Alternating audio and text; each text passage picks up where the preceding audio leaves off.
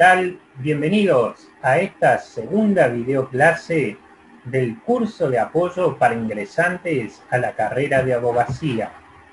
Comenzamos nuestro revisionismo histórico del día de la fecha hablando de lo que es la conformación del Estado-Nación. En este tópico lo que hay que tener en cuenta es que ante la situación que sufría España luego de la invasión napoleónica que había provocado la caída de la monarquía precisamente, la disolución de la Junta Central y la constitución del controvertido Consejo de Regencia hace que la sociedad porteña de aquel entonces quedara totalmente conmovida ante esta situación. Y esta inquietud se va a ver reflejada de algún modo en el cabildo, que va a decidir pedir autorización al virrey Cisnero para convocar a un cabildo abierto donde participarían los vecinos calificados y que esto expresasen la voluntad del pueblo, acordando las medidas más convenientes, oportunas, para evitar, como se decía en aquel entonces, toda desgracia y asegurar de ese modo la suerte venidera. Con la veña del virrey, la asamblea se va a hacer efectiva el 22 de mayo de 1810 y se dice que a ella concurrieron 251 personas de las 450 que se habían invitado. Los sucesos que desencadenan a partir de entonces es lo que se conoce históricamente como los sucesos de la semana de mayo. En esta apertura de sesión se va a oír la exaltación del cabildo aconsejando precisamente la adopción de posiciones moderadas en las que se tomarían en consideración el espíritu de la ley, el respeto a los magistrados y especialmente la unión con las provincias interiores en ese contexto es que dentro de las opiniones dominantes de aquel entonces, cabe destacar la del obispo Lue, quien adopta la posición más conservadora, haciendo uso de la palabra, tratando de convencer a los presentes para mantener el orden y la paz, es decir, no introduciendo diferencias en la autoridad del virrey, y señalando que aunque las malas nuevas de la península fuesen ciertas, si hubiese quedado un solo vocal de la Junta Central y arribase a nuestras playas, le deberíamos respeto como la soberanía. Ante esta situación, este argumento, otro de los criollos presentes, como abogado, Juan José Castelli, va a señalar que de ese discurso surgen dos ideas principales. En primer término, la circunstancia de que había desaparecido el gobierno legítimo, evidenciado por la disolución de la Junta Central, por tanto carecía este de facultades legales para establecer una regencia. Y en segundo término, que el pueblo había reasumido los derechos de soberanía para libremente de ese modo instalar un nuevo gobierno. Lo que resultaba ilegítimo en este contexto era el traspaso del dominio de las Indias, porque según una pragmática de Carlos V del 9 de julio de 1520, los monarcas se habían comprometido a no enajenar ni apartar de la corona total o parcialmente a los reinos indianos. Las teorías políticas aceptaban el principio de que habiendo cesado la autoridad del rey, el poder revertía al pueblo Quizás el argumento de la argumentación de Castelli precisamente, en cuanto a su origen, puede estar basado en las doctrinas escolásticas sobre el poder del rey, aunque al hablar de soberanía denota la influencia de autores más modernos con ideología en la escuela del derecho natural racionalista.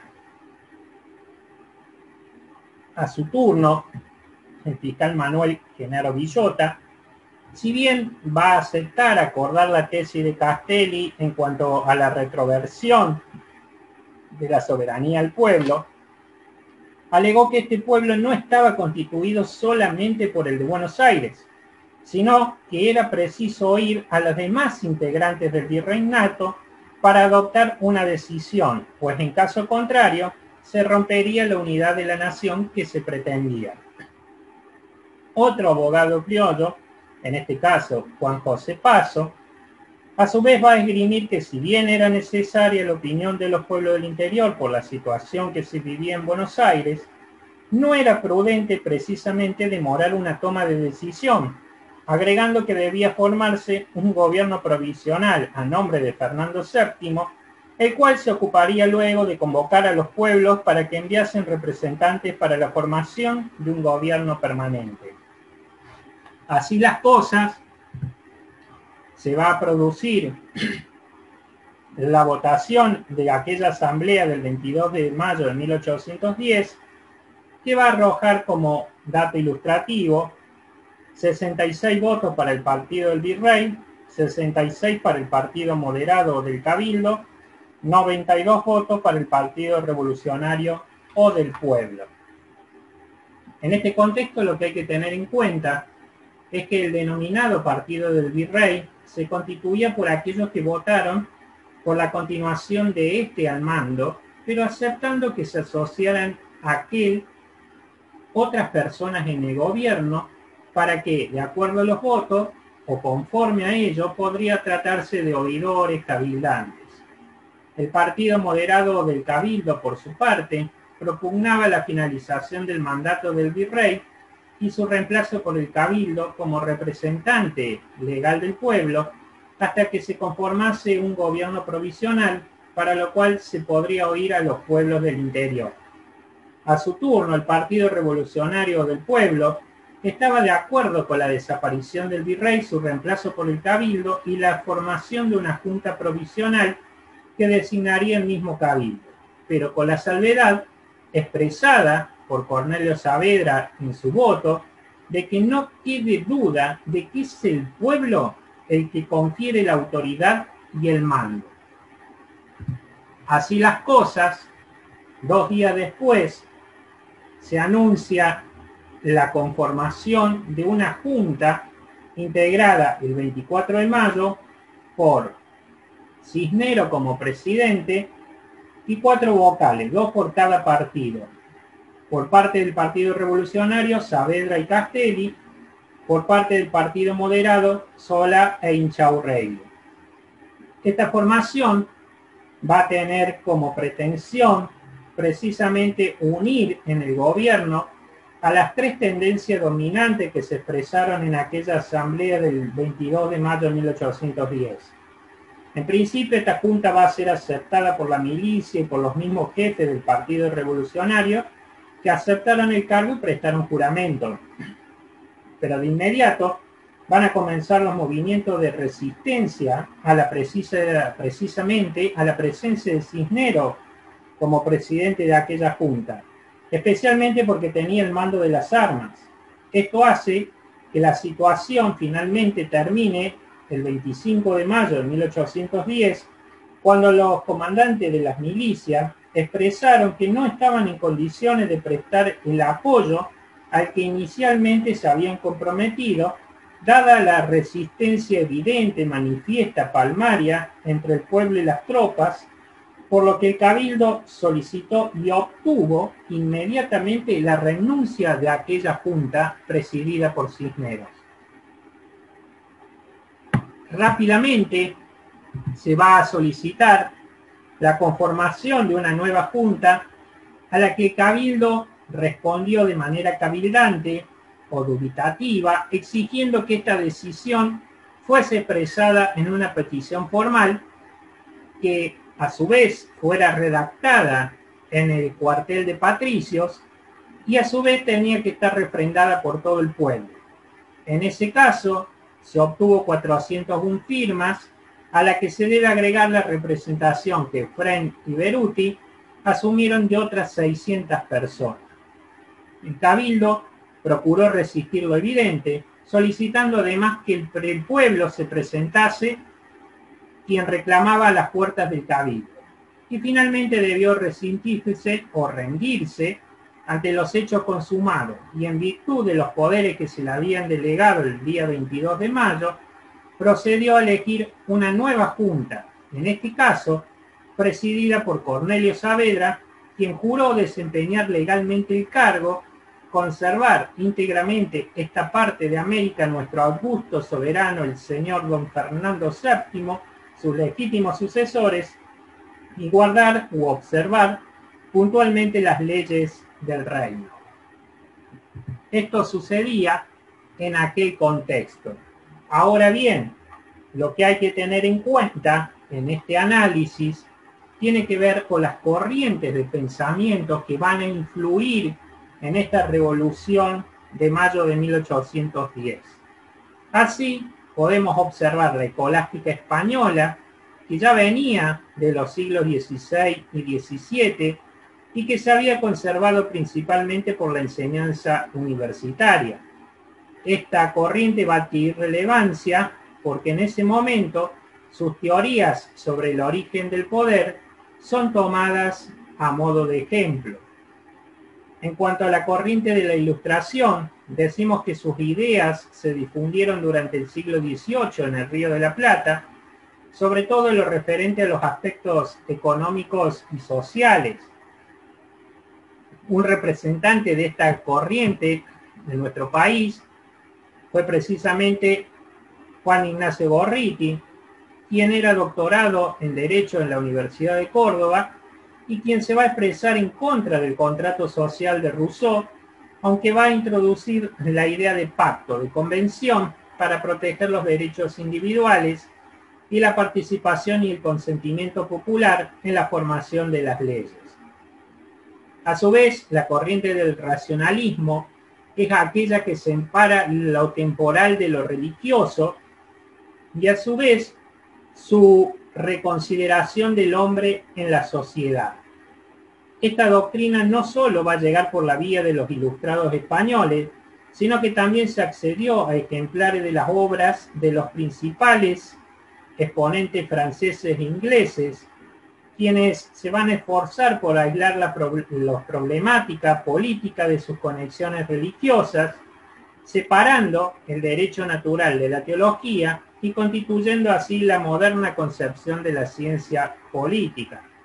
Entre los autores más destacados de esta corriente lo encontramos a Luc, Koch, Montesquieu y Rousseau, entre otros y a su turno las ideas restauradoras son aquellas que aparecen en España de 1808, luego de la caída borbónica, si bien no eran reflexiones originales, van a adquirir relevancia por la difusión que este pensamiento logra en América precisamente, donde se soñaba con el regreso de Fernando VII al poder, cuestión que finalmente ocurriría en 1814.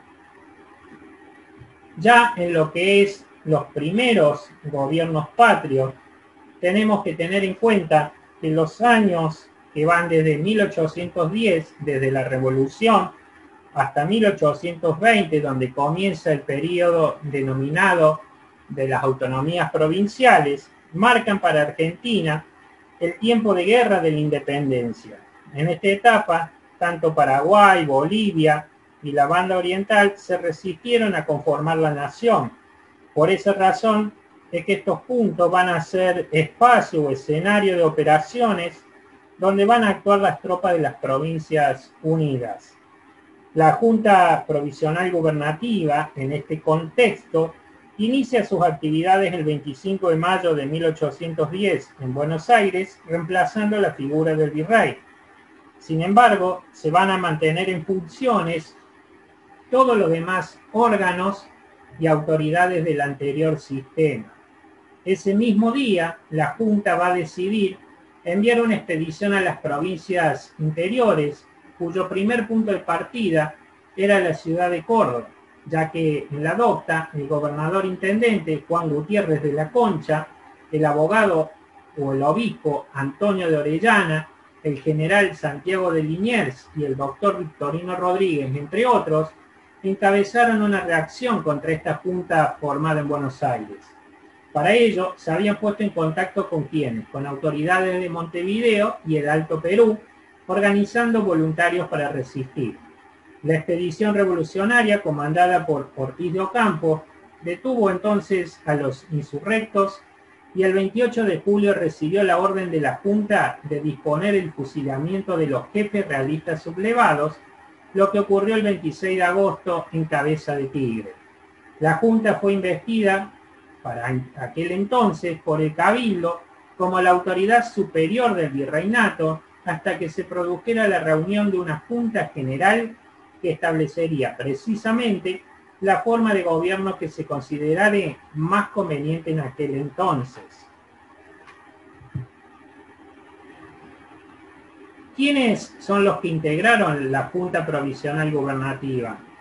Como dijimos, en cabeza o presidiendo la misma se encontraba Cornelio Saavedra, como secretarios Mariano Moreno y Juan José Paso, y dentro de los vocales lo encontramos Alberti, Ascuénaga, Belgrano, Castelli, Mateu y Larrea. ¿Cuáles son las funciones que se van a dar en aquel órgano de gobierno? A partir de la creación de la Junta Gubernativa, o primera Junta, esta se arrojaba la potestad de llenar los cargos necesarios o que hubiere lugar, cuidar el orden y la tranquilidad pública, publicar mensualmente el estado de cuenta de la administración. No estaba autorizado a imponer contribuciones o gravámenes sin la conformidad del cabildo.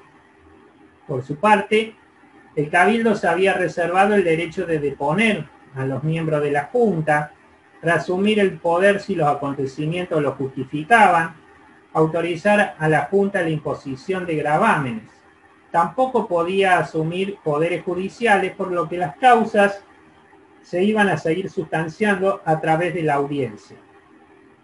Por esa razón es que en la audiencia seguía tratando la sustanciación o trámite de las causas judiciales que se le presentaren ante ella. ¿Cuáles son los sucesos posteriores a esta Revolución de Mayo?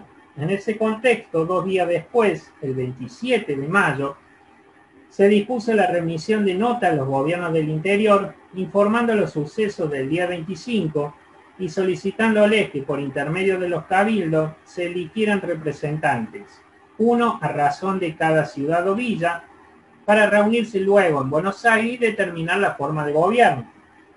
Un día después, el 28 de mayo, la Junta publicó su reglamento interno, por lo cual tenía competencia de los asuntos de gobierno, guerra y hacienda para los asuntos de gobierno se iba a requerir la presencia en pleno de todos sus miembros, pero para los demás asuntos solo era necesario el voto o la, o la reunión del presidente y cuatro vocales.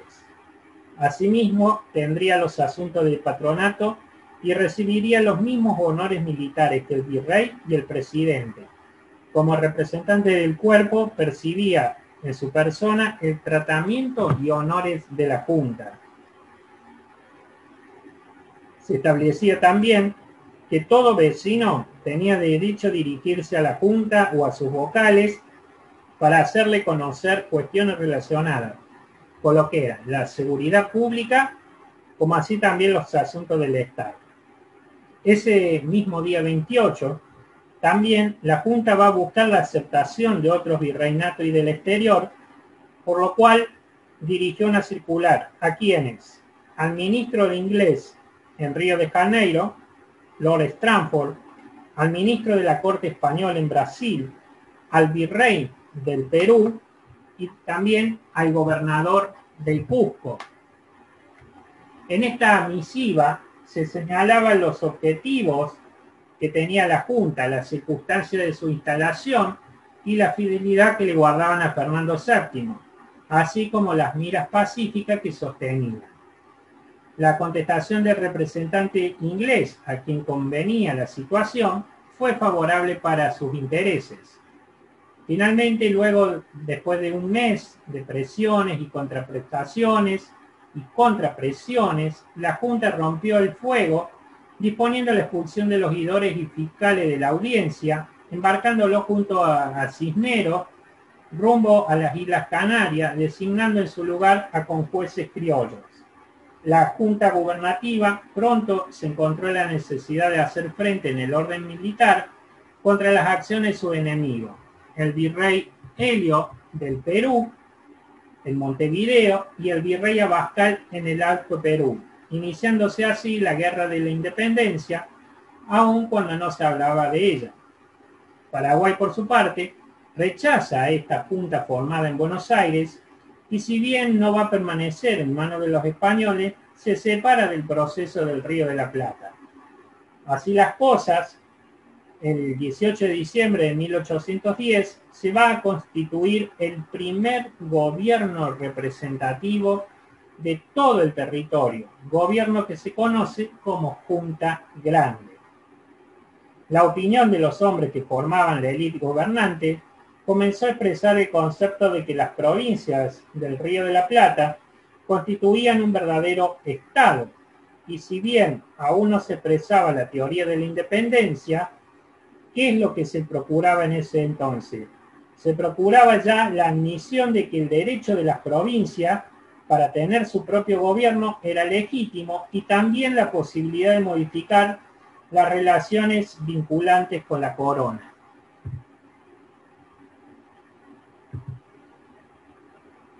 Así las cosas, en este contexto, después de la Revolución de Mayo, más precisamente el 23 de septiembre de 1811, se va a instalar un nuevo órgano de gobierno denominado triunvirato, más conocido como primer triunvirato, que va a actuar bajo la tutela del porteño Bernardino Rivadavia, integrado en ese entonces por Feliciano Antonio Chiclana, Juan José Paso y Manuel de Serratea.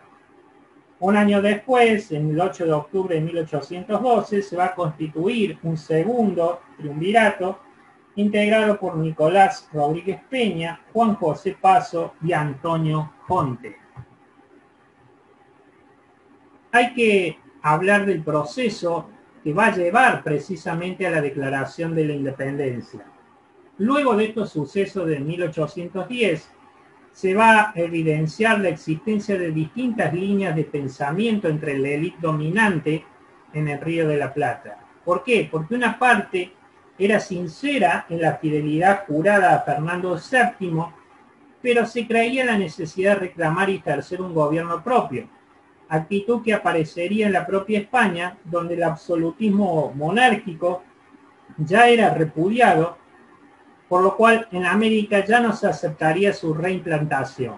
Se pensaba que Fernando VII constituía una esperanza de renovación para el imperio español, el que podría ser reformado a partir de nuevas bases políticas, económicas, sociales, entre otras. Otros creían por su parte que era imprescindible obtener una total independencia de la metrópoli para formar, a partir de postulados liberales, un nuevo gobierno que, podía ejercerse ya sea por una monarquía constitucional o bien por una república. Pero en ambos casos, lo que había que tener en cuenta era la emancipación como requisito sine qua non. En esta tendencia se van a enrolar los revolucionarios más fervientes, por caso Mariano Moreno o Bernardo de Monteagudo, y fue impulsada posteriormente por la Logia Lautaro y la Sociedad Patriótica. Otro de los tópicos fundamentales que hay que internalizar en este, en este contexto que va de 1810 a 1820 tiene que ver con la Asamblea General de 1813.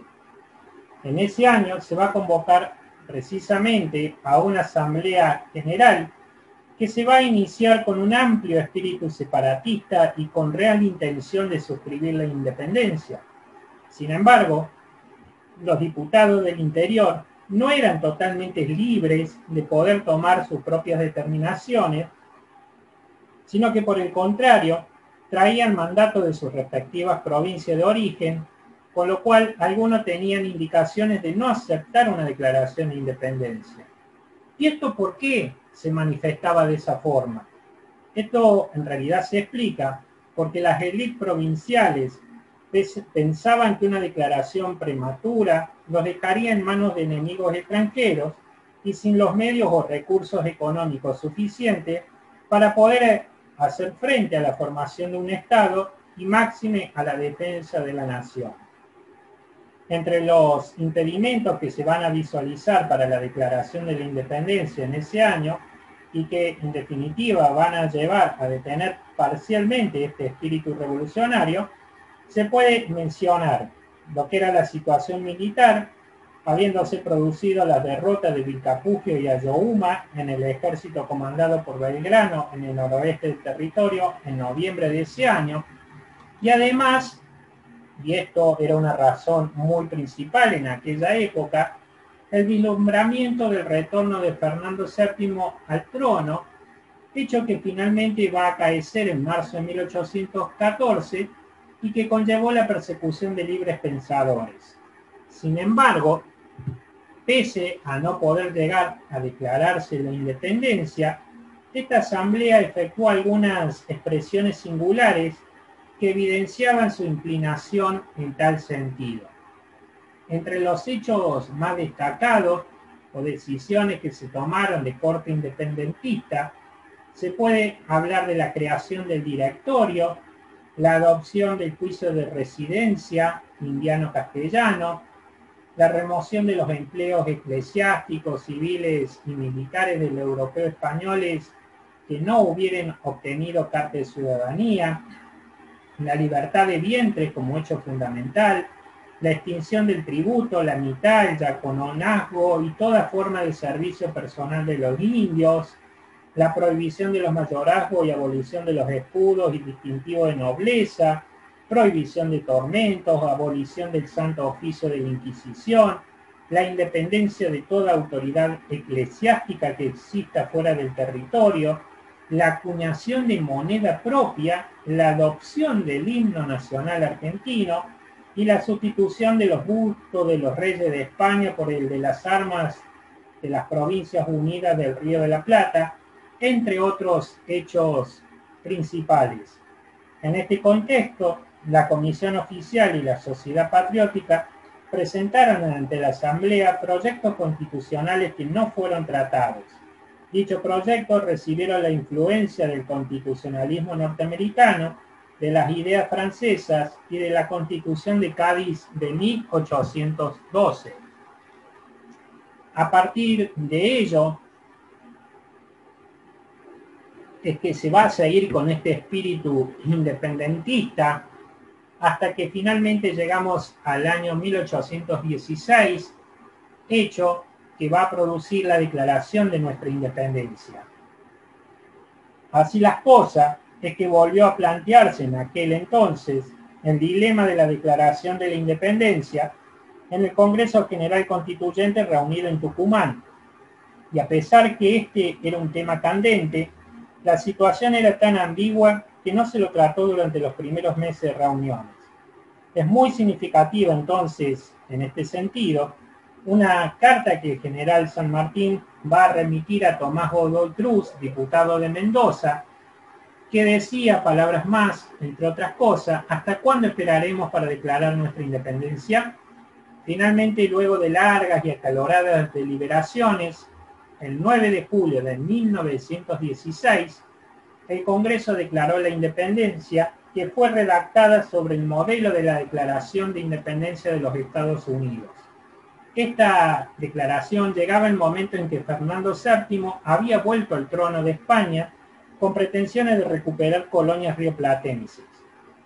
En términos políticos, la independencia, en cuanto a su declaración, fue un hecho significativo dado que se constituye como el punto de partida de un nuevo Estado soberano, en lo interno constituía un pacto de unión entre los pueblos rioplatenses y además es el paso previo necesario para que San Martín pudiera avanzar con su gesta libertadora hacia otras latitudes como lo fue Chile y Perú.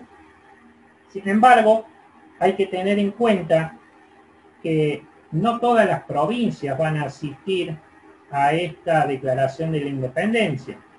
Previamente se constituye lo que se conoce como el Congreso de Oriente, dado que siempre se consideró que este documento, Declaración de la Independencia, era la base constitutiva de las provincias rioplatenses.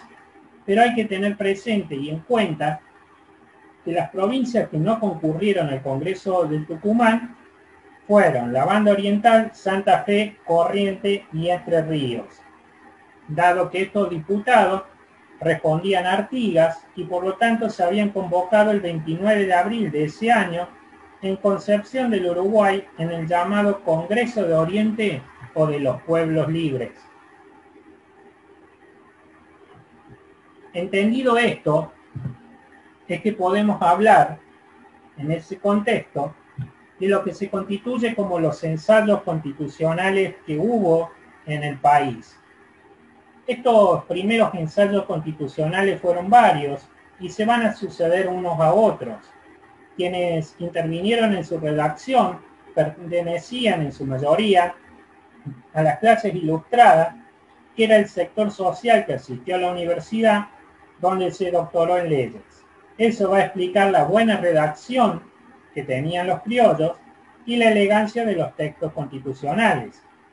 En estas constituciones, estatutos o reglamentos dictados en esta etapa, se va a procurar delinear los poderes del Estado, su forma de integración, elección, atribuciones y relaciones, como así también el conjunto de derechos y deberes que le competían al ciudadano. Entre estos derechos y deberes podemos hacer la total, de mencionar, la total sumisión a la ley, como así también lo que es la libertad de actuar, pensar y obrar, la garantía de la seguridad individual destinada a impedir la coacción o restricción de los derechos personales, el derecho a la propiedad, entre otros grandes derechos y deberes que se establecieron en la época. Esto nos hace hacer mención de lo que fueron precisamente el desarrollo de estos ensayos. El primero de ellos tiene que ver con el reglamento de 1811, acá lo que hay que tener en cuenta y presente es que el poder legislativo residía en la propia Junta, integrada por los diputados de las Provincias Unidas, quienes gozaban de inviolabilidad mientras durasen en el ejercicio de sus funciones, y en caso de cometer algún delito, serían juzgados por una comisión designada por la misma Junta. Esta tenía el tratamiento de alteza, mientras sus funciones figuraban la declaración de la guerra y de la paz, como así también de la tregua, los tratados de límites, los nuevos impuestos que fueran a crearse, como así también creación de nuevos tribunales o empleos desconocidos en la administración de aquel entonces. El Poder Ejecutivo estaba a cargo de la propia Junta y en referencia al Poder Judicial no se menciona. Posteriormente hacemos mención de lo que es el Estatuto Provisorio de 1815, previo a la Declaración de la Independencia, donde el Poder Legislativo no se organiza, dado su carácter provisional y efímera duración. El Poder Ejecutivo constituye la figura del director de Estado, con atribuciones similares a los ensayos anteriores, señalándose que no debía interferir o intervenir en las cuestiones judiciales. En Poder Judicial no se refiere ni se toma decisión al respecto. Posteriormente a la Declaración de la Independencia, nos encontramos con el reglamento de 1817. En este caso, el Poder Legislativo va a estar constituido por el Congreso, que actuó en esa Declaración de la Independencia de 1816, sin declinar sus tareas constituyentes. Hasta tanto, la Constitución fuera dictada y se estableciera en ella la forma permanente de dicho poder. El Poder Ejecutivo a cargo del director de Estado, mientras que el Poder Judicial no se observa constitución. Así las cosas, es que podemos hablar de las dos constituciones previas que hubo a la de 1853. Ellas son la de 1819 y la de 1826. En la primera mencionada, introduce, en cuanto a la designación del poder legislativo, la figura de un poder bicameral, es decir, donde la Cámara de Diputados fuese integrada por diputados que duraran cuatro años de ejercicio en el mandato y elegido por las provincias en proporción al número de habitantes.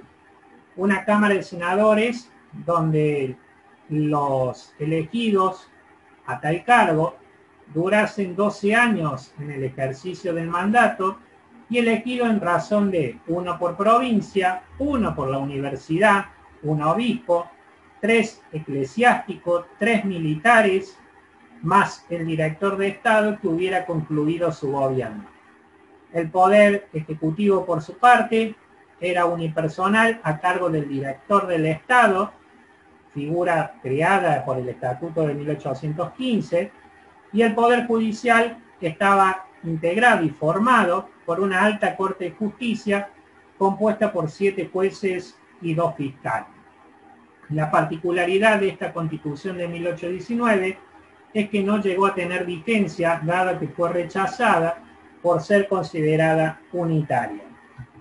Así las cosas, en 1826 tenemos la sanción de una constitución cuya vigencia fue efímera. En este caso, el poder legislativo también era un poder bicameral, constituido por una Cámara de Diputados, donde los elegidos duraban cuatro años en el ejercicio del mandato, y elegidos a razón de las provincias en proporción al número de habitantes. La Cámara de Senadores baja el número de años en el ejercicio del mandato de 12 a 9 y eran elegidos a razón de uno por provincia y uno por la capital. En el caso del Poder Ejecutivo, tenemos un poder unipersonal por un presidente, ayudado en sus funciones por el Consejo de Gobierno, el cual estaba conformado por cinco ministros secretarios, quienes ayudaban a este a tomar decisiones, pero conservando aquel el poder final de decidir. Eran considerados auxiliares del Ejecutivo por lo tanto, su nombramiento y remoción era facultad del presidente. Recibían el trato de señoría y debían ser respetados por el cargo que ostentaban. Mientras tanto, el Poder Judicial encontrábamos una alta Corte de Justicia compuesta por nueve jueces y dos fiscales. No obstante los intentos, es dable señalar que en esta etapa el Poder Ejecutivo frecuentemente administró justicia, ya sea en forma directa o designando a los jueces.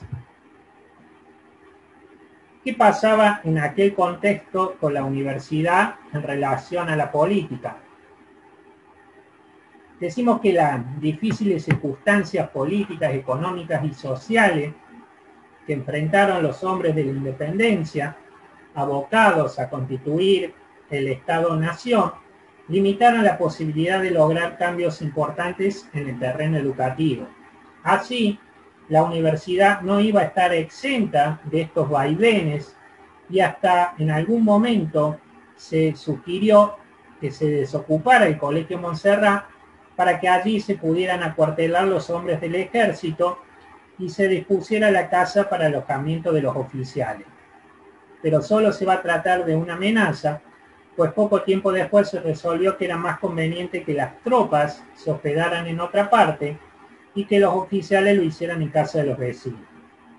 A pesar de todas estas dificultades que se van a observar en el periodo, se van a suscitar como consecuencia del inicio de la Guerra de la Independencia en febrero de 1813, el Funes va a estructurar un nuevo plan de estudio que mereció en 1814 la aprobación de la universidad y en 1815 la autorización del director supremo. En este caso, los estudios de Derecho comprendían cuatro años y por periodos anuales se estudiaba la instituta, el Derecho Patrio, el Derecho Natural y de Gentes. El plan, con algunas modificaciones realizadas en 1818, 1822, 1834 y 1841, va a continuar vigente hasta 1856, momento en que la nación se hizo cargo de la universidad luego de su nacionalización en 1854. Así, en la segunda mitad del siglo XIX, el prestigio de la Universidad de Córdoba era notable en la jurisdicción. A modo de ejemplo, cabe mencionar y destacar que de los 29 congresales que formaron el acta y firmaron dicha acta en el Congreso de Tucumán, 14 habían pasado por las aulas de la Universidad Nacional de Córdoba.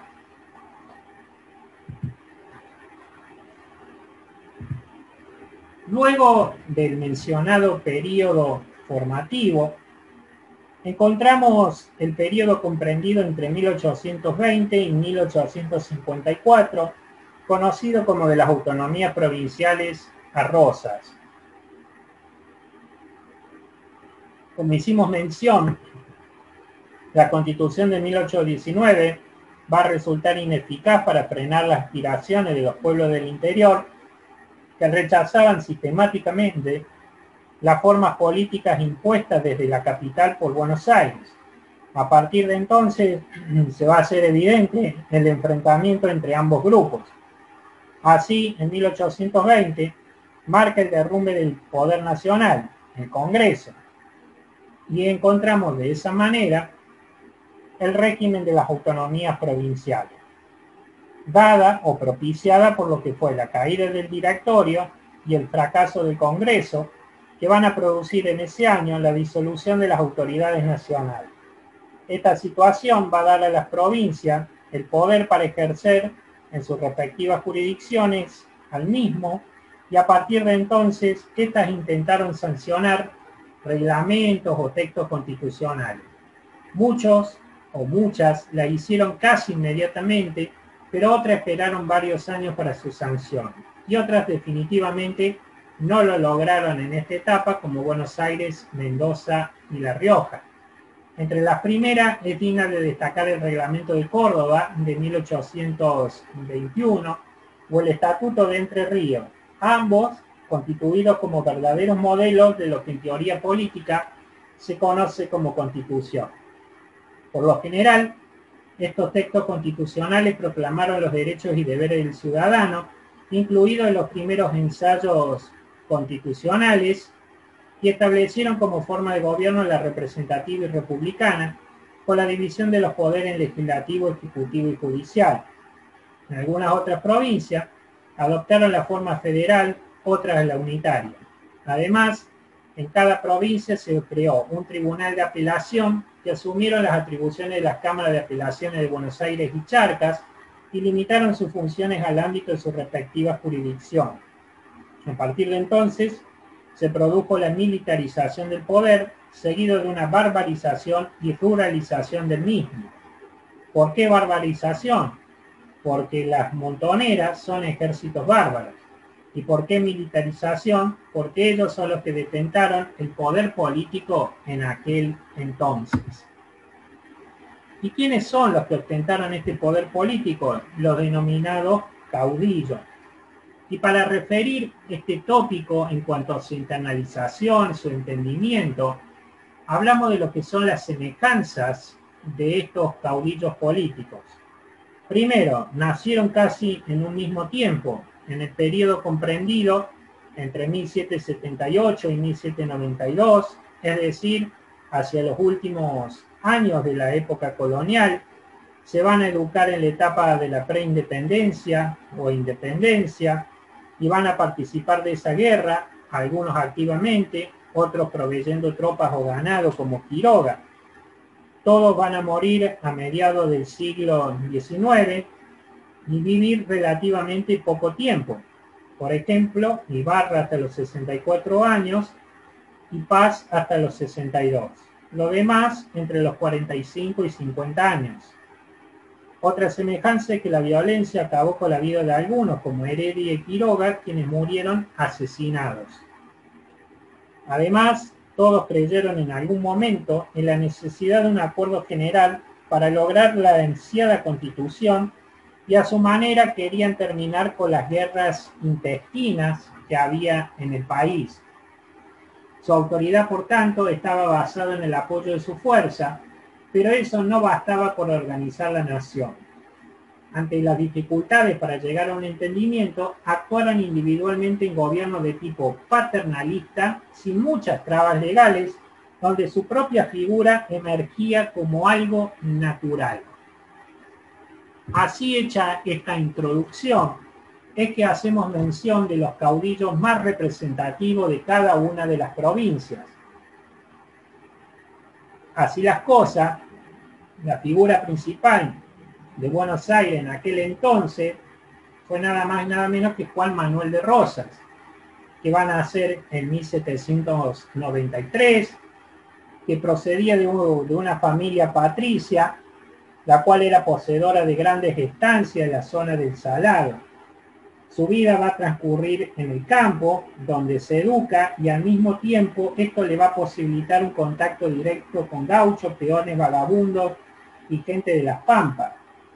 Como característica, en 1820 y pese a su juventud, era uno de los estancieros más poderosos, ya que había logrado instalar un potente saladero cuya producción era destinada al exterior.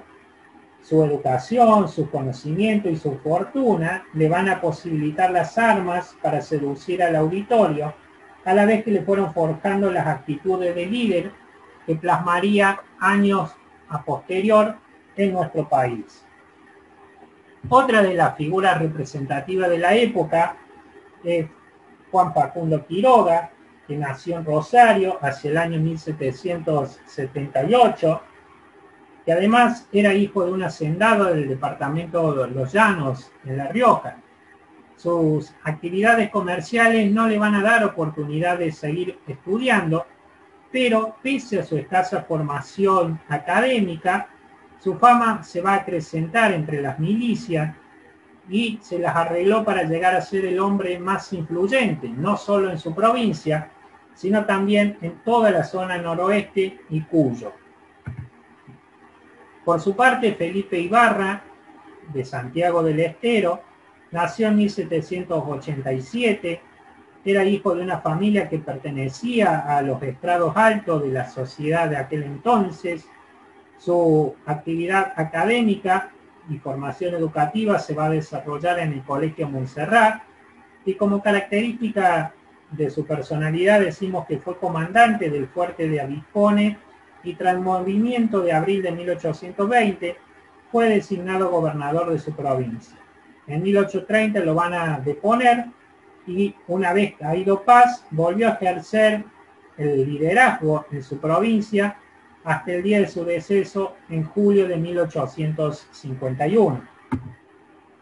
Otro de los caudillos importantes de la época fue Alejandro Heredia, quien nació en Tucumán en 1790, hijo de una, de una familia acomodada y ascendente de la sociedad de aquella época. Va a estudiar en Córdoba, en el seminario de Loreto, en el Colegio Montserrat y en la universidad, donde va a lograr graduarse como licenciado y doctor en teología. Como característica sobresaliente, decimos que si bien carecía de formación militar, la coyuntura histórica y su ideario independentista lo improvisaron como un poderoso militar. Así participó en la batalla de Tucumán, de Salta, de Vitapuje, de Oyohuma y en la sublevación de Arequito, a su turno fue representante en el Congreso Constituyente de 1826. En 1832 fue nombrado gobernador. Además fue proclamado jefe del Protectorado del Norte, participando en la lucha contra los unitarios en Bolivia. En octubre de 1838, después de ser reelecto gobernador, fue asesinado. Uno de los caudillos más trascendentes de Córdoba fue José María Paz, quien nació en 1791 y vivió hasta 1854. Procedía de familia de militares y tenía estudios en tal sentido.